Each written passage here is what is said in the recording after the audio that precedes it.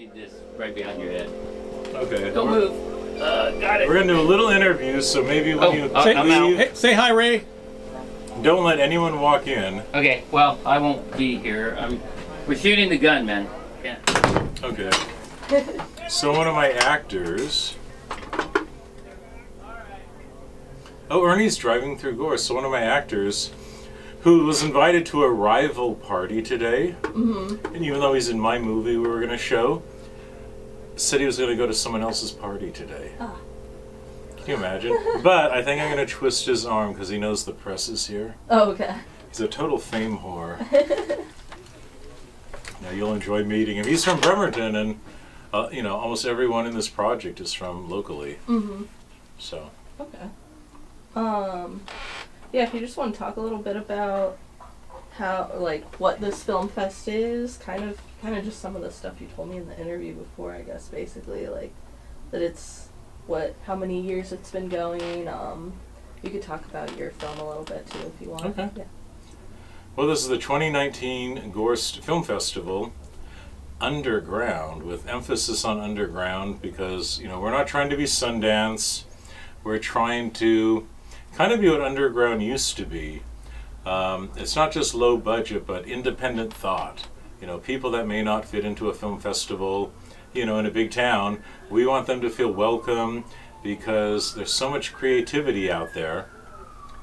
But not everyone, I think, creates a venue that appreciates it. I think a lot of film festivals have become just a big number. Let's just fit in, you know, the audience and herd everyone in we want everyone to feel special you know we want to interview them give them a q&a you know we just want everyone to have a voice here. And i think the whole thing is even in an age with iphones where you can make a movie you know for nothing there still needs to be more venues for unique people to show their work with people in an audience. You know it's cool to see it on youtube. It's cool to watch it on your phone. But the thing we give them that you know they can't get on their own is a really appreciative audience. You know we really try to tell the people you know this is something special that you can't see in gorst every day or kitsap county. And you know we've had i think three people from la here today. One person from san francisco a woman from australia originally um, and some locals you know a guy from port orchard who is a really talented guy and I didn't even realize we had, you know, this really talented guy in town.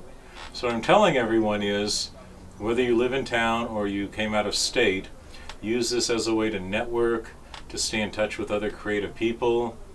Uh, one guy who heard about us through the Kitsap Sun said he wants to create a little artist movement in Silverdale with some friends.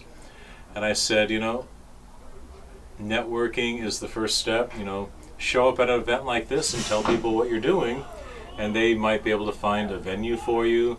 They'll help you put the word out to other artists that they know. So I think the whole thing is we're taking the best of the small town and we're keeping that small town feel of everyone knowing each other, helping each other. No snobbery, like if you're in a you know a big film festival and everyone's acting like you know they're the next Hollywood big thing. We're just trying to be very supportive where we're at, not trying to pretend to be something that we're not. We're just saying it's okay to be an underground filmmaker and you know that we're the coolest people on the planet. Awesome. Thanks. I know. I tried not to let it be a run-on sentence. Yeah, great. Look, can we ask you was fun. something? Yeah, I know you're like kind of working, sure. so he's the interviewer though. oh, do you want me to ask her? Ask her something so we can, because she's here. So I thought we should ask her something. Where did you first hear about the Gorst Underground Film Festival?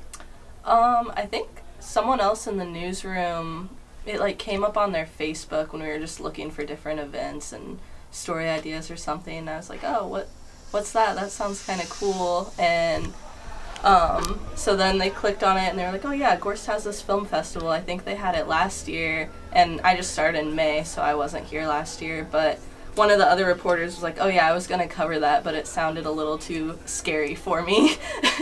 so I was like, "Well, it sounds perfect for me, so I would love to cover that." So I just looked into it more and then contacted you, and yeah.